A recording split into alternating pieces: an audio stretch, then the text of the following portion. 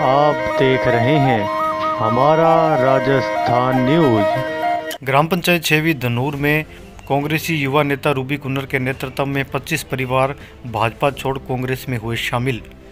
पूर्व मंत्री व लोकप्रिय विधायक सरदार गुरमीत सिंह कुन्नर की कार्यशैली से खुश होकर ग्राम पंचायत छह धनौर में 25 परिवार भाजपा पार्टी का दामन छोड़ कांग्रेस पार्टी में शामिल हुए हैं। वही इस मौके पर विधायक पुत्र व युवा नेता रूबी कुन्नर के नेतृत्व में कांग्रेस पार्टी का दामन थाम लिया। वहीं इस मौके पर भाजपा छोड़ कांग्रेस पार्टी में शामिल हुए 25 परिवारों का युवा नेता रूबी कुन्नर व सरपंच यूनियन के अध्यक्ष अजय सिंह बणिक ने धन्यवाद किया।